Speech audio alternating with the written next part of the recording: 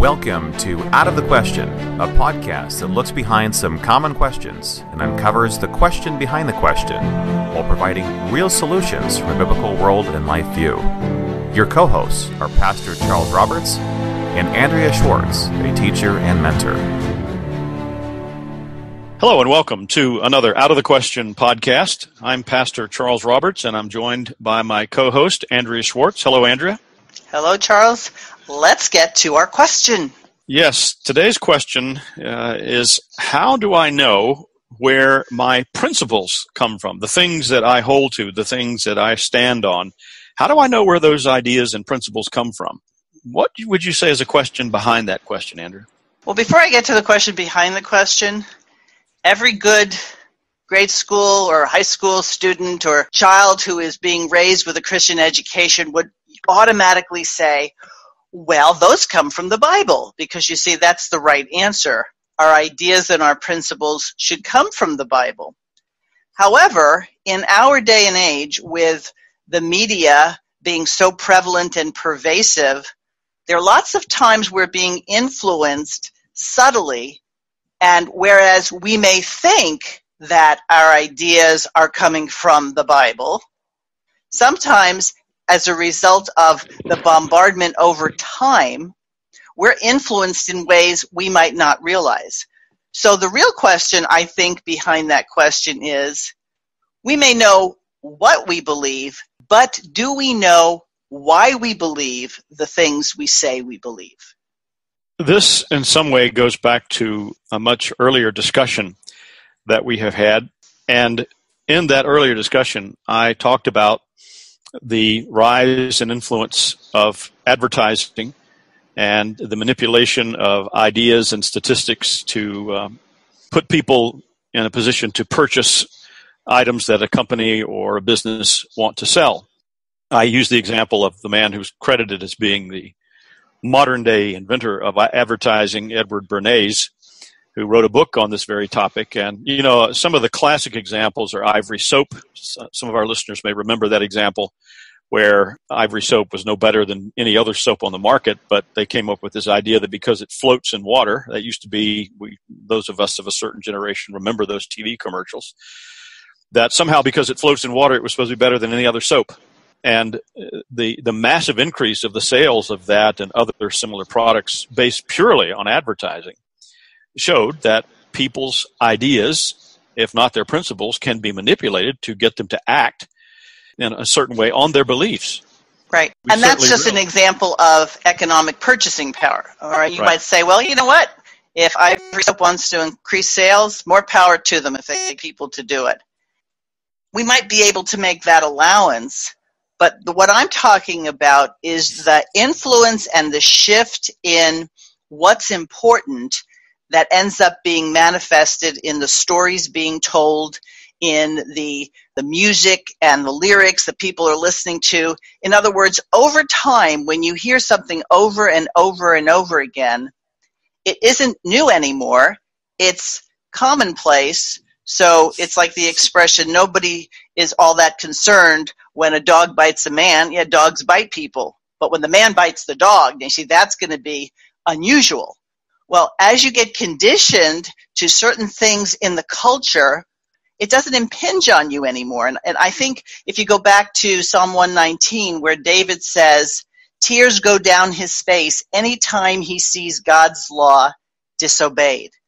Well, how many times in movies, in novels, in commercials, in media, social media, do we see God's law being disobeyed and tears don't come down our, our, cheeks. In other words, we're not identifying that's a violation of God's law. That's a violation of God's law as opposed to, well, yeah, that's been that way for years. So we become desensitized to the sin. And the the whole project of manipulating the ideas and principles of people's lives, their minds, that is the result of that having happened. I mean, there was a time in our culture where if people did not have tears running down their face because of the violation of God's law, they became angry and they did something about it. For example, in most of the towns and cities of these United States, as recently as the 1950s, if you were in a public place, say downtown on Main Street where people used to shop, and you began cursing loudly, taking the Lord's name in vain in that manner, uh, you would probably be arrested. There would be some action against. Uh, there were blasphemy laws on the books in many places uh, for for decades, uh, if if not the more uh, clear ones dealing, say, with sodomy and and those kind of issues. But again, I'm going back to the example that I was using with the advertising. People who had an agenda to change the thinking of Christians and the Christian foundations of our culture as it existed then to where they would not be upset when God's law was being violated saw in that methodology a means by which people could be, the old term was brainwashed into not being concerned about it. And you have well identified, you know, how this happens when something is repeated constantly, either in a song or seen over and over again in a video, whether it be the same particular song or the same particular video or the, the same principles being dished out under different circumstances, different TV programs, different types of music it begins to have, have that cumulative effect to where people's thoughts have begun to be changed and they're no longer concerned about God's law. They're concerned about whatever the agenda being uh, forced into their minds. So you gave the example of the small town and how people had standards and they were not particularly interested in seeing those standards violated and the bad behavior modeled. Well, how did you change small town United States? Well, the great equalizer became let everybody be learning and watching the same thing. So once you standardized the public school curriculum and this is what could be in it and what could not be in it, you were shaping those minds. So forget about the fact that things might be taught in schools that ridicule Christianity, just leaving Jesus out of history, science, and, and literature you're communicating something. So that young child, if he goes to church with his family, hears certain things on Sundays, but the rest of the week he doesn't. And so what does he think is important? Well, if you give this much time to this thing and this much time to this thing, the one you give more attention to must be more important. And of course, your parents are sending you to these schools. Well, what about the people who are no longer school age? Well, television, radio, movies are the way in which you influence them. So all you really need to do is to have a movie where a likable character just found out some bad news and he is on the corner and he is blaspheming and he's cursing and he's doing all sorts of things. So we'll have sympathy for him. And then he's arrested. See, that can't be a good law because we know why he's upset. So we're separating what he does for the reason he does it. And now, the more we're exposed to it and the more our emotions are tugged, we're becoming relativists. There becomes a, a breakdown in the consensus of the culture to where a different consensus has been manufactured or pervaded upon the people to where they are no longer, as you said, concerned about these kind of issues again, I have used this example in a previous episode whereby if we can say in a broad way that the, the basic thrust of the Ten Commandments was the overall operating consciousness of most people in these United States, say in the late 19th and into the mid 20th centuries. It, not to say that everybody was a Christian or not that everybody completely obeyed the Ten Commandments, but generally people understood and lived by the basic principles of God's laws expressed there and most people would understand it was not proper to steal, it was not proper to commit adultery, etc. And they would hide it if they did, because that would be an example of they knew it was wrong and they knew that everybody else wouldn't approve of it, That's so right. they would conceal it. That's why the, the prostitutes and the homosexuals were purveying their trade on a side of town that everybody knew that was the bad side and nobody went there unless they were going there specifically to be sinful. Those are yeah, perfect examples, but that, that was the consciousness of the people. And so the ideas and the principles that people had came from that source. I mean, if you can look at it as sort of a, a round cylinder with hundreds and hundreds of, of uh, circuit cables coming out from it, connecting to people's minds, and that round cylinder is the basic principles of the Ten Commandments. Everybody was sort of feeding off of that consciousness, but now that's shifted. Now, you've identified the government schools. We've talked about that in the past. The media, all of this now comes to the place where the media, uh, the, the humanistic statist media, does our thinking for us. And I see this in churches all the time where there's been some legislated issue or manufactured crisis or whatever it may be that's all over the news networks. And the people come into the churches or in groups of discussion, and this is all they talk about. This is all that they're concerned for. So their, their thoughts have been given to them, their concerns have been given to them from the media. So it does its thinking for us now. And so things that might be issues that we'd say, oh, okay, that's an issue, but it isn't the most important issue, that rises to the top. So there are more people who are more concerned with whether or not a former quarterback gets a deal with a major sports corporation than they are with the fact that people of color and people of non color are being aborted down the street from them on a regular basis. Because the media doesn't highlight abortion as a problem because the media highlights it as a right in polite conversation everybody knows you're not going to bring that up because different people have different views. But folks it's different views on murder not different views in terms of what color handbag to buy. It's we're saying that people have different views on murder because our media has told us they're differing views. And of course, there's not like two equal views. There's only one correct view, and that is let people decide for themselves.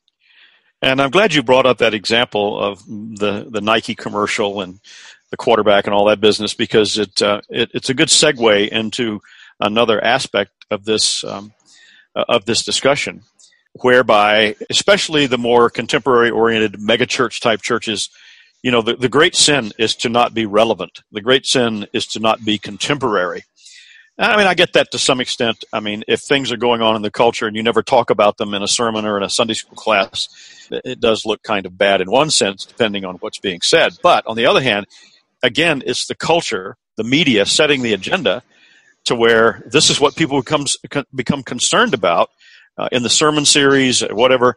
I remember uh, getting when I lived in Arizona. There were lots of big mega churches in the Phoenix area, and we would get these mailers, uh, these these flashy cards, and they would be geared to look like, say, the Star Wars movie. They were they were clearly aping and copying something that was contemporary in the culture to kind of co-opt it.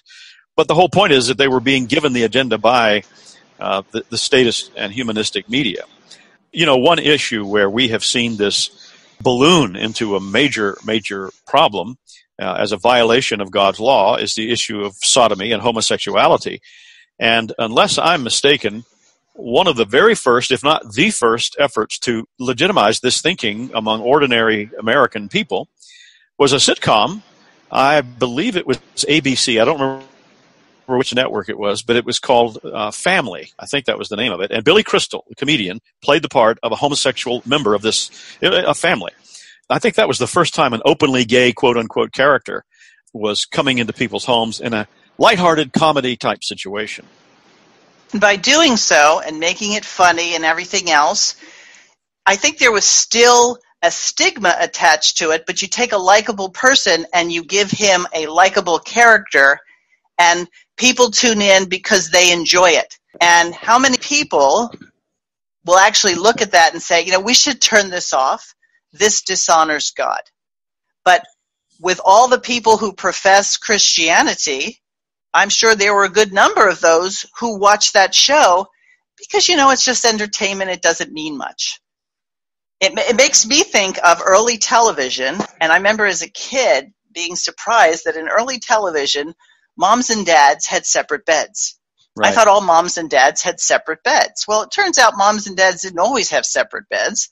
But the reason they had it in separate beds in the television shows is because they didn't want to too quickly overstep the bounds of everybody knew that these two characters, these two actors weren't married. So, in other words, we could pretend they were married or we could accept the premise that they were married, but they went to sleep in separate beds. Well, eventually that changed. And then you had married couples in the story in the same bed. And I can remember the justification saying, at least they're married in the story. And I remember saying to people, but these two people are not married in real life.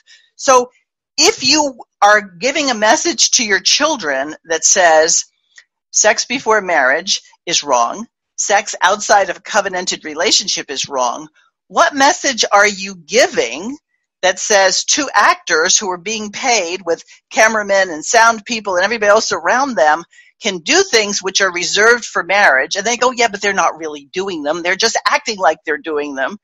Do you see how the conditioning happens that after a while when that's part of a storyline nobody even questions it anymore?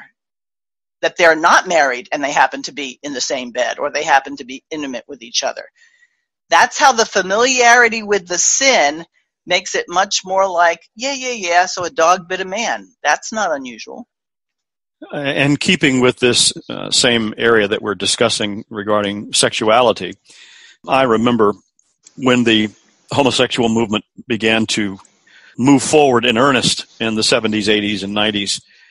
Many of us, for the very first time, heard about this organization called uh, NAMBLA, the North American Man Boy Love Association.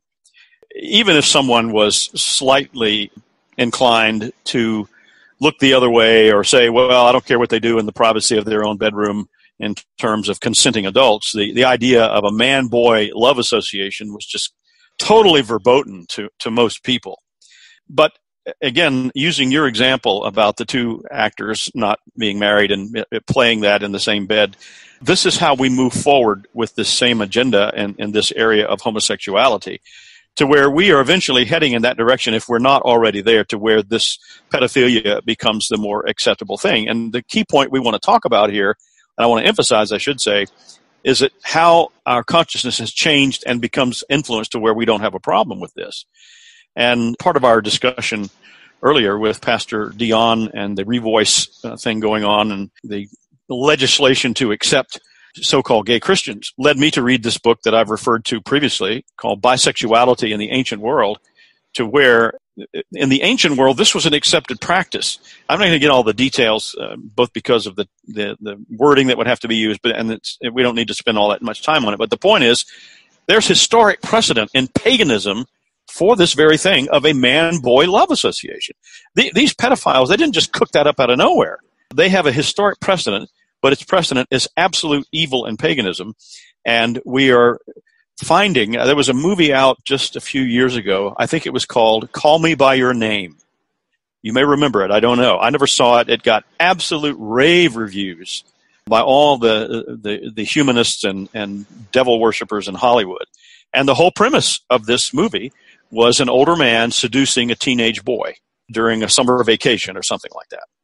So it, it's coming, friends, and, and the media uh, are the um, the engine that is driving this, and we, we need to be on our guard and be more vigilant uh, about how we expose ourselves, and especially our children.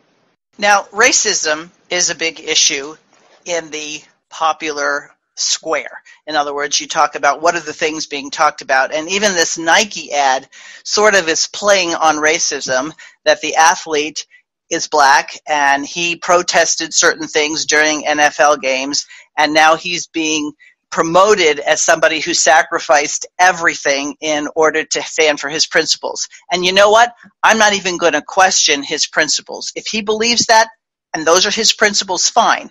It's hard pressed to say that he's suffering because I doubt not Nike just said do this for volunteer work. I'm sure he's going to get paid for it. So I'm sure his sacrifice might be that he doesn't get to play football anymore, and that's something he always wanted to do. So I'm not going to negate it. But when the race issue is at the forefront of everything, and you want to promote certain things, so I know there are people who get very upset when they see interracial couples in commercials or in or in film, and it's an area of upset the part that's interesting to me is some people are more upset with the fact that it's an interracial couple fornicating than that there's fornication happening. So the the point that they were trying to do get that people to accept fornication and so now the envelope's going to be pushed more and we know that there are going to be people who are upset with interracial couples and again you can argue either side for people who feel that it should be or it shouldn't be, and we'll put this under the area of Christian liberty, whether or not you think you should marry someone who is not of the same color of you, and leave that to individual liberty. But the point is, as we're discussing this, we've accepted the other thing. So, why is that important? Well, if we make the argument that two people should be allowed to get married because they love each other and it doesn't matter the color of their skin, and that becomes the reason why something should be okay, then when two men want to marry each other, or two women want to marry each other, or an older man and a younger boy, or an older man and a younger girl, you see, what we're doing is we're setting the stage that the premise for what is okay is based on what we're used to and our emotional tug. Well, God doesn't say view homosexuality or transgenderism with an emotional understand what they're doing and you know embrace them with open arms and let's just love on them his word says this is an abomination and if you care about them you won't withhold that truth but the more we accept two people should be able to do what they want outside the context of what does the word of god say it's hard to imagine what won't be acceptable 20 years from now. And this goes back to a point that was made in a previous episode concerning the promotion and legislation of what's been called social justice in our culture today. It goes back to the efforts of a group of Marxist and Freudian scholars who were collectively known as the Frankfurt School because they came from Frankfurt, Germany, some of the better known are Herbert Marcuse, Saul Alinsky. these are just two uh, of individuals who came from a largely atheistic background. And among those who have studied this school of thought, it, it is a, a consensus that their project, and they were not shy about saying this, that their purpose was to un- totally undermine Christian civilization. They felt it was evil, it was bad, it caused the Holocaust, it gave rise to Hitler, it did this, it did that. And so it needs to be completely shattered and something new based on the grand humanistic vision of a scientific society needs to be built up in its place. And the, the areas that were targeted by these men and their teachings and the influence that they had uh, through the Ivy League colleges and universities were the areas of human sexuality, race relations, and religion. And wow, what do we see going on today and what we've seen for the past 40 or 50 years is the steamroller of humanistic statist ideology being filtered out into all these areas, the three areas that I just named. You mentioned the uh, this. We've talked about homosexuality, the, the issue of fornication and, and interracial couples. Well, uh, immensely popular TV shows uh, revolve around polygamous plural marriage families. Now, these are all over the place on television. And so this is another part of that same agenda to where why shouldn't this be okay? It's acceptable. Well, according to what standard? Well, according to the standard of the media, according right. to the standard of the state. And, and what is its foundation? What is the standard by which these organizations and people are saying this type of relationship is okay, uh, this type isn't? You make up your own mind about whether you're going to uh, cohabit before you are formally married and, and all this business. Well, it's a purely humanistic biblical law hating agenda. Unless you think that we don't have religion in the schools and in the media and the public square, we most definitely do.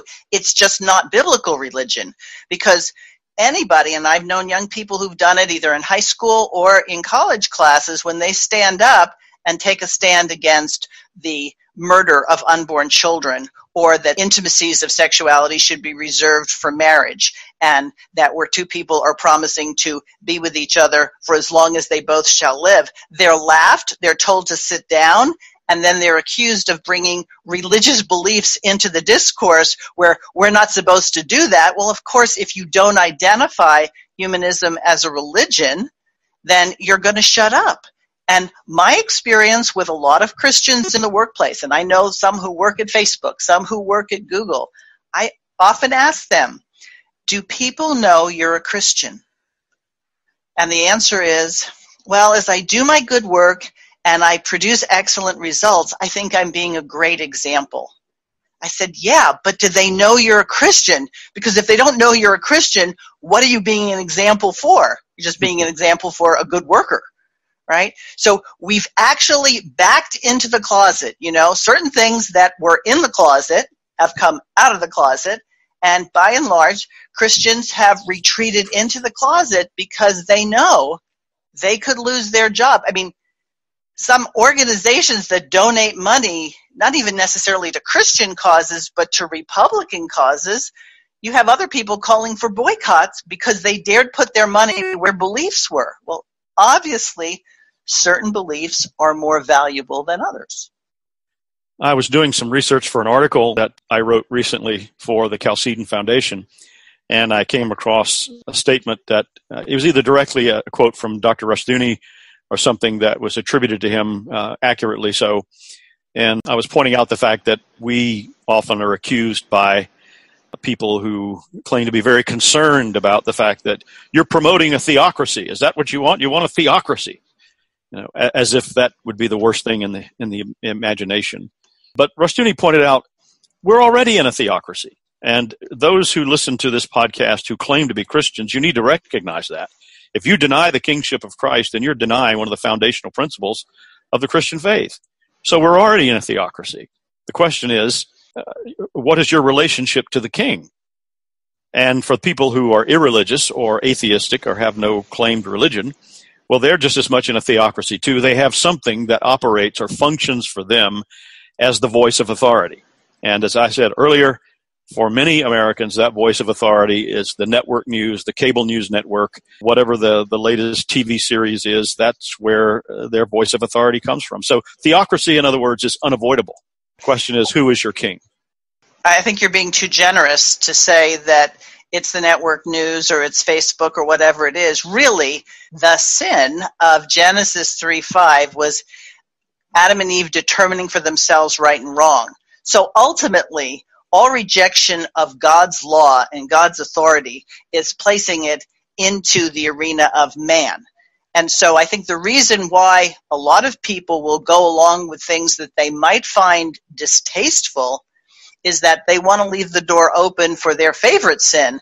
They're acting out contrary to God's word. And so they can't come down too hard on this group, even if they find them loathsome, because if they come down on that group, then they're coming down on themselves. And so to be consistent, not that they can be, but to be consistent what they what they think, their view is, well, then we all have to accept each other and everybody, you know, different strokes for different folks. And the churches are complicit or have been um, in previous generations for that very thing, whether it be in the home Bible study sponsored by the church or in a Sunday school class, you know, where people sit around and you, you ostensibly have a teacher but they go around the circle and everybody says what that particular text or that particular verse means to them. Uh, well, I don't see it that way. It may mean that to you, but it means something else to me. Uh, and, and this is just a platform for uh, what you referred to there in, in Genesis chapter 3. Right. So I would invite people to, and my suggestion here will probably ruin watching film and shows and everything else, but put on the lens of the Bible. So when you watch a program and there's a commercial and a woman and a man kind of look at each other lustfully as they're on, you know, public transportation and you don't have a problem with that, but then in a little bit of time you see two men on public transportation lusting after each other and that bothers you. Ask yourself why does the second bother me but the first didn't? Or have we just accepted that these older laws like the ones you talked about the blasphemy laws these are antiquated. We don't do that anymore because what? We're more progressive or we have regressed are we better served? Because now not just on the street corner but in the media where they will rate things because this has you know this rating comes because it has nudity language and violence. Oh okay. Everybody let's sit down and watch it. Because this show will have nudity sexuality and violence and bad language and we're going to say well that's just the way it is. That's that's modern times. Well maybe it is but should it be? Should we be saying that it's okay to watch this as a group of people and pay our money and eat our popcorn and watch people fornicate or watch people curse or watch people massacre or mutilate other people in a thriller or a psycho thriller. what are we allowing into our minds and are we evaluating it in terms of God's word? And this goes back to the very first question that we posed um, about what is the source uh, of my principles? How do I know that the principles that I hold, the worldview that I hold, uh, as to where it comes from? Am I being influenced? Uh, am I being manipulated by, uh, without even realizing it, sources that are trying to change or have, if in fact, already changed my perception to where, as you just said, I can sit down and view and listen to things that are uh, contrary to God's law. If you really want to know what people believe and think are important, all you have to do is examine where they spend their time, where they spend their resources, and where they give their efforts. And I'd have to say, in America, sports is a big deal. Yes. So it doesn't matter what the athlete does, it doesn't matter what his lifestyle is or her lifestyle. It doesn't matter what they do off the court or off the field. Hey, I watch how they play baseball or I watch how they play football. And we've elevated to the point that a lot of the social engineering is that as people are watching sports, you can expect a lot of the culture shifts and the cultural agendas being promoted during the sporting events. And I'm thinking that right now the US Open tennis is going on. And the name of the stadium is named after a woman who was an outstanding, quote unquote, tennis player, but who also happens to be a very prominent and outspoken lesbian. So are we separating that out? Well, you're saying you're just so bigoted. You're, I'm not questioning being bigoted. I'm not saying let's go out and hurt this woman. What I'm saying is who do we honor? Look at who's being honored and look then in our culture who's not being honored. The Lord Jesus Christ is not being honored. And he says he doesn't share his glory with anyone. And I would add to that that this is clearly the promotion of an agenda. It's clearly the promotion of somebody's idea of what should be the case, what, ne- as you said, what needs to be honored. And I'm just demanding to know where, where do you get the right? Where is your privilege to do this, to promote this for everybody to say this is what's right, this was what should, should be acceptable. But if we want to promote the biblical point of view, which is the only true point of view, somehow that's evil and is bad. Well, we know the answer to these questions. As I said, it goes back to the concerted efforts of those who set their sights on the destruction of biblical faith among people in the Western world and to replace it by something that we have seen now coming into being for the better part of a century. But we know, based on what Scripture teaches us, if not what we see from human history, that these projects are doomed. They are doomed never to succeed because people are inherently sinful. And if they are not reborn by the power of God's Spirit and govern themselves according to God's law, the ultimate outcome will be chaos and destruction. We've seen this time and again in every ancient society that places man at the center of law and, and greatness and replaces God's law. Uh, the outcome is always the same. So, as dismal as these things may look from one standpoint, they are for us uh, great opportunities and great cause for hope that this entire structure will eventually crumble, and we are the ones who need to be ready to help those who are disillusioned, if not fractured by it. And the plan as God laid it out in the Great Commission isn't to take over Hollywood, isn't to take over mass media. It's to, in your area of jurisdiction and your life, that you are shining your light so that people will see your good works and glorify your Father in heaven. Well, the only way they're going to be able to glorify your Father in heaven is if you tell them about your Father in heaven. And this makes it very personal, and we don't try to have to impress people with the thousands of people we brought to Christ. If we trained our children, if we cared enough about our neighbors and extended family to be a witness to the truth, then the Holy Spirit does the work that only He can do, changing people. It won't be that, well, if we just capture the movie studios or if we could get our agenda out there or we could promote Christian athletes, that's not the issue. The issue is taking it seriously and noticing when God's law is being disobeyed. Exactly. Our, our, our, ancient brothers and sisters, the earliest Christians in the Roman Empire, they didn't succeed because they took over the gladiatorial games with Christian gladiators. They didn't succeed because they, they ran a candidate to be the Caesar who was a Christian. That's not how they succeeded at all. It was along the lines of, and exactly what you are just have just described for us.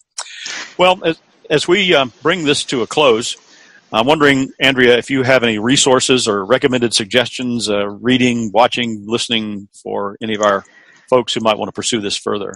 I most definitely do. There is a three volume set that was recently published by Chalcedon. and it's called An Informed Faith.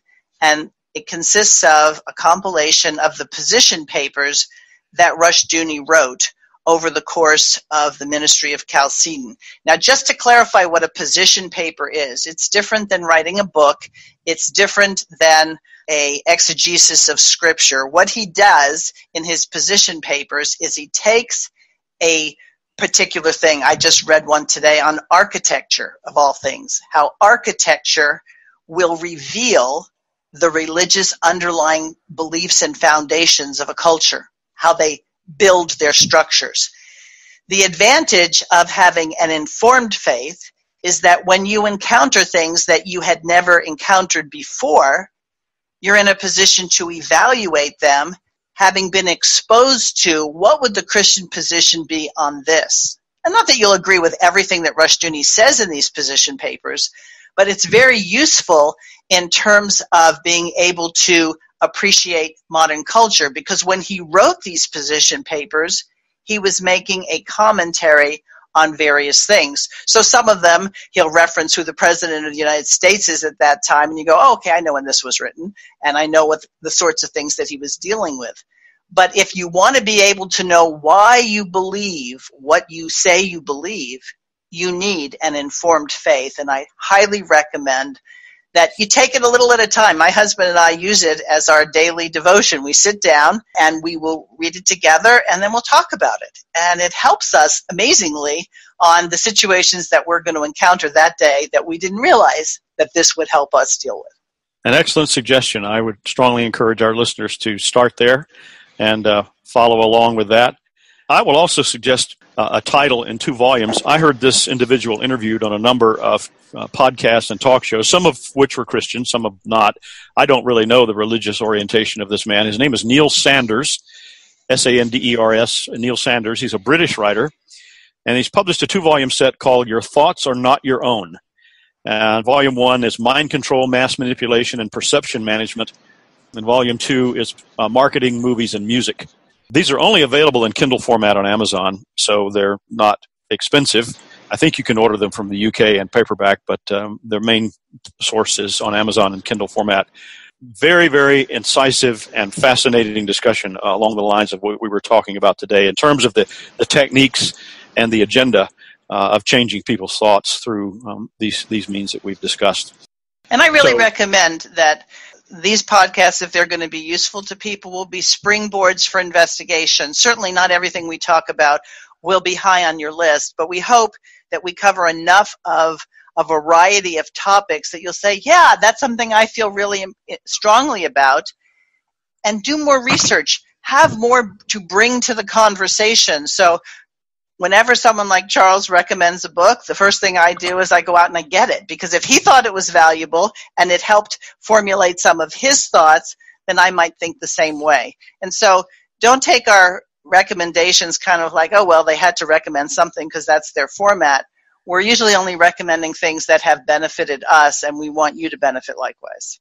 Andrea, thank you very much for those recommendations and for that uh, uh, wise insight. Uh, could you tell our listeners how they can contact us? Yes. Email us at outofthequestionpodcast at gmail.com.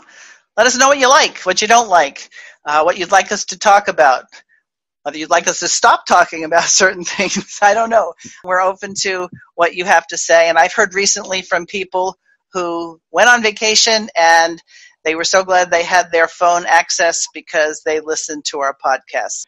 Very good. So until our next uh, podcast, we will bid our listeners farewell. Thank you, Andrea. You're welcome, Charles. Thank you. Thanks for listening to Out of the Question. For more information on this and other topics, visit www www.kingdomdrivenfamily.com.